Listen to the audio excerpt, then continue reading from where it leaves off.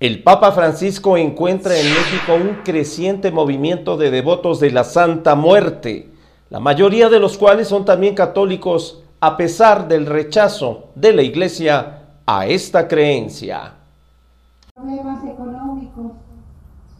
Veneran a la Santa Muerte.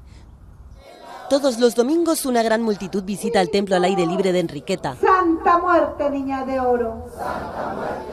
Aquí oran frente a esta estatua negra de 22 metros. El suyo se destaca del resto por celebrar bodas y bautizos. Esta vez es el turno de Adriana. La bebé de tres meses duerme mientras la rocían con agua bendita. Hace dos semanas fue bautizada en una iglesia católica y ahora se presenta ante la Santa Muerte. Al final del parto tuvo muchas complicaciones. Digo, y nosotros nos encomendamos a ella y yo le prometí que si me daba a mi hija en buena salud, iba a estar aquí ante ella bautizándola.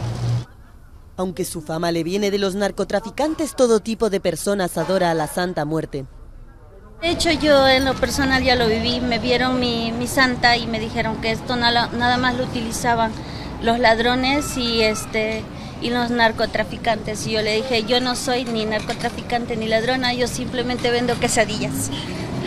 Sus orígenes se remontan a finales del siglo XVIII. Después de eso, su veneración se mantuvo en la clandestinidad hasta los años 40.